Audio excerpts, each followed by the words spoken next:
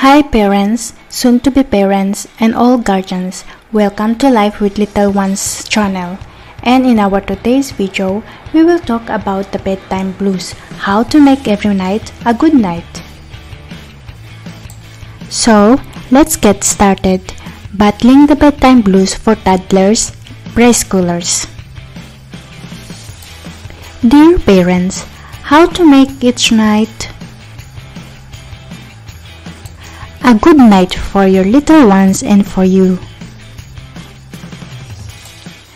I know most parents have experienced the bedtime blues when putting a young child to bed is so stressful and time consuming that it leads to utter exhaustion. Well, unfortunately, a grueling bedtime routine usually wears out the parents, not the child. If you are going through the bedtime blues with your toddler, preschooler, you might wonder if this is normal or if something is wrong with your child.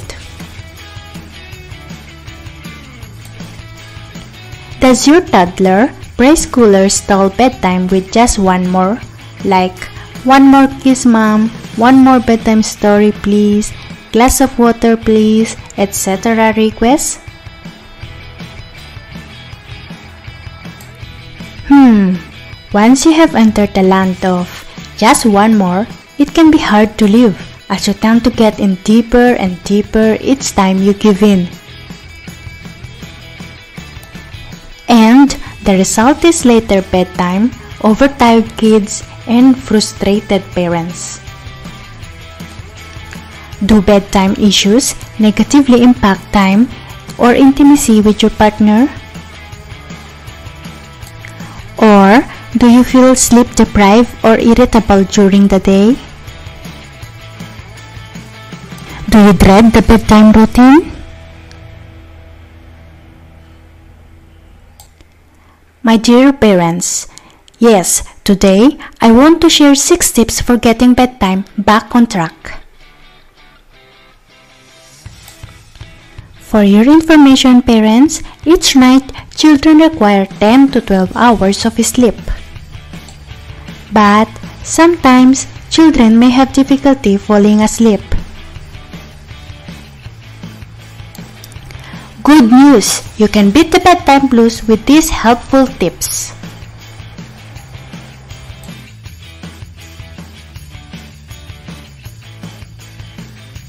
Number 1.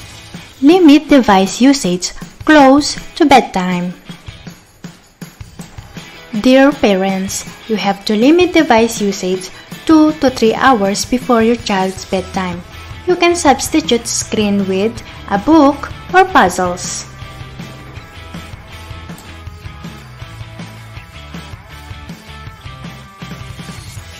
Number 2. Design a sleep paradise. Remember that your child's sleep environment will influence their sleep greatly. You can create a sleep-inducing environment in which your child feels comfortable and eliminate any distractions.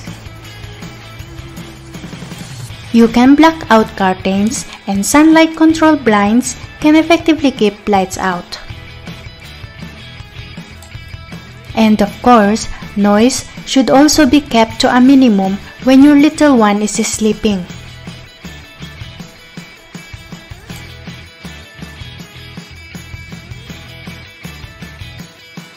Number 3, it is important to have a bedtime routine. It is because children find comfort in a routine. The familiar process allow kids to become accustomed to bedtime and help them wind down before they sleep. A bedtime routine could begin with a shower.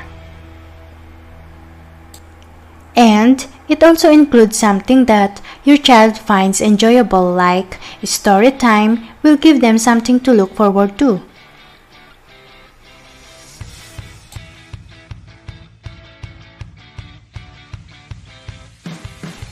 Number 4. Explain with them. why sleep is important. Because kids this age love to ask why. Use that curiosity as an opportunity to explain why sleep is so important. So, for example, explain that sleep allows your body to stay healthy. You can explain to your little ones that sleep gives us the energy to do fun things in the park, soccer, swimming, dance, gymnastic, etc.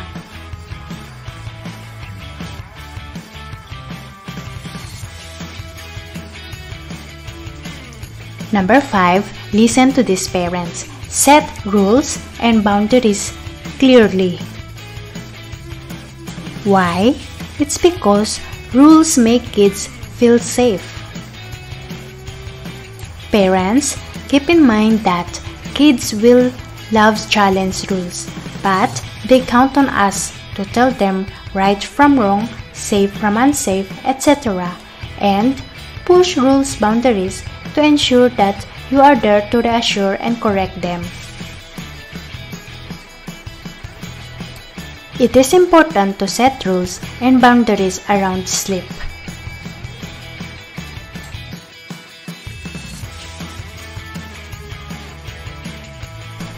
Number 6. You must be consistent. This final step is key. You must consistently enforce whatever rules you create so your kids know exactly what is expected. If you allow your kids to break the rules even once, they will know now that if they push and push, they may get their way. So again, it's very important to be consistent. To all dear parents who are watching now, remember that they are in place for a reason to make sure everyone is easily drifting off to sleep on time and getting the sleep they need. And for more information on bedtime battles and other free training resources for tantrums, power struggle, whining, morning dawdling, and more, click the link below description. And that's all for today my dear parents. Thank you for watching. I hope that you liked the video. And if you did, please give it a thumbs up. And if you have any question, please leave a comment down below. Thank you and please don't forget to subscribe to our channel and click the bell notification to get updates. Thank you and have a nice day everyone. Bye!